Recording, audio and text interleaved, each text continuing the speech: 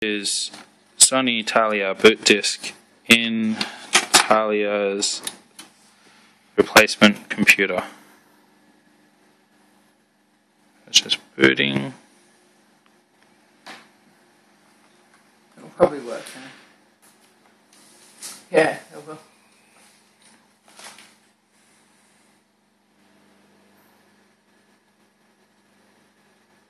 And there's ghosts.